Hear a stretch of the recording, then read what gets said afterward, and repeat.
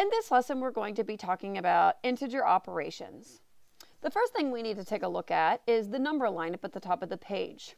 Notice that this number line consists of positive numbers, which are represented in blue, and negative numbers that are represented in red. Notice what the numbers look like. Notice that these numbers are not fractions and they're not um, decimals.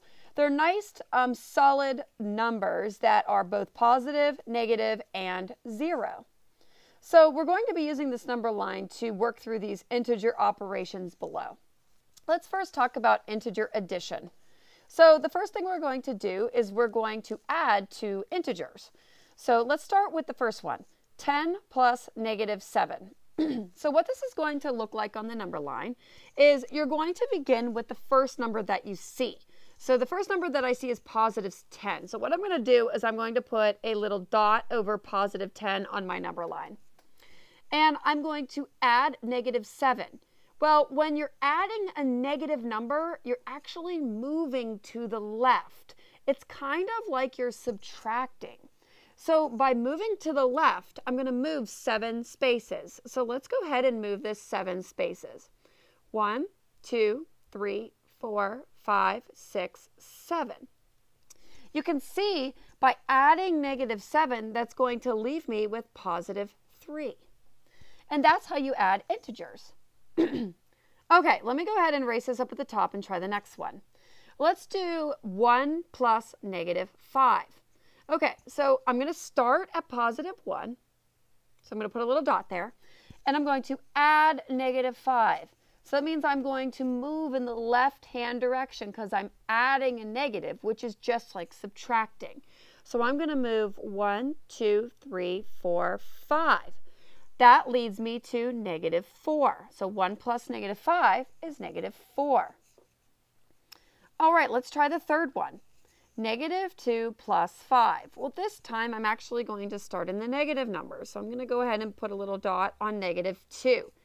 And this time I'm adding positive 5. So I'm adding 5. By adding 5, I'm going to be moving in the right direction. So I'm going to go 1, 2, 3, 4, five spaces to the right, leaving me at positive 3. Okay, and the last one here, negative 7 plus negative 3. Okay, so I'm going to go ahead and start at negative 7. So I'm going to put a little dot there. And I'm adding negative 3. So by adding negative 3, that's really subtracting. I'm moving it to the left, or I'm trying to make the number more negative. So I'm going to move one, two, three spaces to the left, leaving me at negative 10. Okay, that is a little review of integer addition. Now let's go ahead and move on to integer subtraction. So for this next one, it's going to be a little bit different, but I'm still going to show you how to do it on the number line. 8 minus 3. Well, we probably all know 8 minus 3, but let me show you what it looks like up here on the number line. I'm going to start at positive 8. So I'm going to put a little dot at positive 8. And I'm going to subtract 3. So subtracting 3 means you're moving in the negative direction. You're moving to the left. So I'm going to move one, two, three spaces to the left, leaving me at positive 5. Let's look at another one negative 2 minus 5. Well, let's start at negative 2 minus 5. Well, subtracting 5 means you're moving to the left. So I'm going to move one, two, three, four, five spaces to the left, leaving me at negative 7. Now, the next two are a little bit different. 4 minus negative 6. So this is tricky. Now, before we start working on the number line, I want to show you a little trick. To make this way easier than it looks right now, watch what you're going to do. Anytime that you have two negatives that are right next to each other, but kind of like cut in half by a set of parentheses, here's what you do. Whoops. What we're going to do is we're actually going to combine them like this. We're going to connect them and then we're going to make a plus sign. Because anytime you have a negative and a negative next to one another, it actually means addition. I know, it's crazy, but it works every time. it makes this problem so much easier because now this is just saying 4 plus 6. And the reason behind that is because anytime you have a negative and a negative, that's called a double negative. And a double negative is a positive. So that's essentially what we did there. So on the number line, it would look something like this. We would start at positive 4, and we want to move in the positive direction six spaces. So that would be one, two, three, four, five, six, leaving us at positive 10. All right, and the last one here on this page, negative 2 minus negative 8. You can see that we have that double negative thing again. So before I even begin this problem, I'm just going to go ahead and combine these negatives, and I'm going to make it a plus. So really, the new problem that I'm working with is negative 2 plus 8. And anytime that you make this little plus sign, it totally eliminates those negative signs. You've already, you've taken over them. So it just turns into a plus. So on the number line, we're going to start at negative 8. And we're going to add, I'm sorry, we're going to start at negative 2. And we're going to add 8. So I'm going to move to the right. 1, 2, 3, 4, 5, 6, 7, 8. Leaving me at positive 6. And that's how you add and subtract integers. Now, as the integers get a little bit bigger, um, it becomes a little bit more challenging, but with a lot of practice with these, you'll get very good at them. Let's go ahead and take a look at multiplying and dividing now. Multiplying and dividing um, has a couple rules that you have to remember, and it'll be really helpful to you um, in solving these types of problems. So here are the rules up top.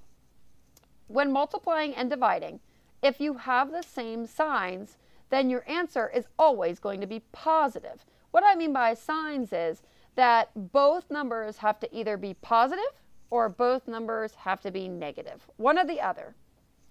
And then likewise, if you have different signs, your answer is always going to be negative, meaning if you have a positive number and a negative number, your answer will be negative.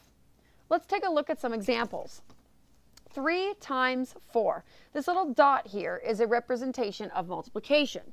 So 3 times 4, you can see that we have two numbers and both numbers are positive. Since both numbers have the same sign, this answer is going to be positive. So the answer here will be positive 12. Let's look at the second one. 32 divided by negative 8. Notice that I have a positive number in the top and a negative number in the bottom. I have two different signs on my numbers. So really, this is going to be a negative answer. So 32 divided by negative 8 is going to leave us with negative 4. All right, how about this next one? Notice also the different um, ways that you can represent division. This is another way you can represent division. So negative 48 divided by negative 6. You can see that we have the same signs on both of those numbers. They're both negative. So that means that I'm going to have a positive answer. And negative 48 divided by negative 6 will give us positive 8. This next one is multiplication. So you can see by this first one that we solved, we used, uh, we represented multiplication by a little dot. But this is another way to represent multiplication with these um, two sets of parentheses. So negative 6 times 5, you can see that both numbers have different signs.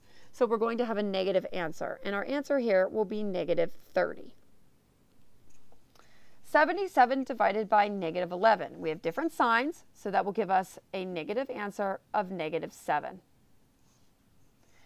2 times negative 7. Now notice that the 2 does not have parentheses around it, and that's okay. But if it looks like this with um, a little parenthesis next to the 2 around the negative 7, that is another representation of multiplication. Be very careful not to mistake this for subtraction. So positive 2 times negative 7 is going to give us negative 14. 24 divided by 3. So they're both positive numbers. So I'm going to have a positive answer of 8. And then the last one, negative 9 times 3. So I have two numbers with different signs. That's going to give me negative 27. And there you have multiplication and division. Now that we've gone through all the operations, let me show you four examples of some applications of integers. I'm going to be using all four of the operations in these problems. So let's take a look at the first one.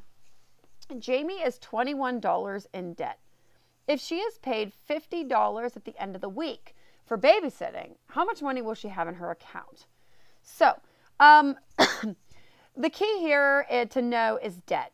Um, debt is something that means that you owe someone something. So that means that you are below zero and you've got to get yourself back up over zero on the number line.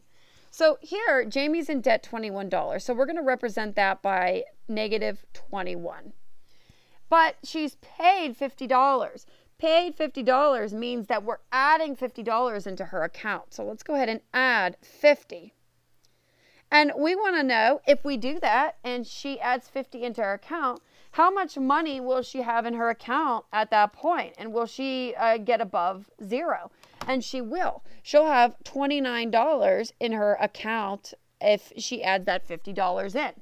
So, which is really good. So, $29 is our answer to the question. Let's look at the second one. The temperature at 6 a.m. was negative 12 degrees Fahrenheit. At at 3 p.m., the temperature was 32 degrees Fahrenheit. What was the difference in temperature? Well, for this one, I like to represent this on a number line so you can actually visually see what's happening here. So here's a little number line, and you can see that I have zero right here. And it says that the temperature at 6 a.m. was negative 12 degrees. So let's just go ahead and represent that by right here. So that's about negative 12. But at 3 p.m., the temperature was 32. So I'll represent that somewhere around here on the number line. And we want to know what the difference in the temperature was. So we're trying to figure out what was the difference in the temperature over that amount of time. So the word difference means subtraction. So let's go ahead and subtract these numbers. I'm always going to take my higher number, which is 32, and I'm going to subtract my lower number, which is negative 12. Now, you may ask yourself, well, why didn't you write it like this? 32 minus negative 12. Well, to be honest, when you have two operations next to each other like that, it looks kind of silly. So we separate it with a parenthesis to make it a little bit more professional. All right, so to do that, um, let's go ahead and solve it now. 32 minus negative 12. We have that double negative situation. So let's go ahead and combine the negatives and make it a positive. And we're going to add them. 32 plus 12 will give us 44. So our answer here will be 44 degrees Fahrenheit is the difference in temperature. All right, I've got two more problems for you, one multiplication and one division. From sea level, a submarine descends 40 feet per minute. Where is the submarine in relation to sea level five minutes after it starts descending? So the key word in this problem is descends we know that descends means to subtract or to go down. So let's go ahead and start this off by representing our descending 40 feet per minute by saying negative 40. Another really important uh, word in this problem is per or per minute. Per means multiplication. So if we're saying negative 40 feet per minute, and we know that the submarine is moving down five minutes. So that's really saying negative 40 times five, because for each minute we want to figure out uh, how far it's going down. So negative 40 times 5. Well, that's we know that a negative times a positive is going to give us a negative, and that's going to give us negative 200. And we'll represent that by saying negative 200 feet. Now, another way that you could state this answer, but you have to be very particular about it, you could say this. You could say 200 feet below sea level. Let me go ahead and write that out. 200 feet below sea level. Now, I say that you need to be specific about that because the word below means negative.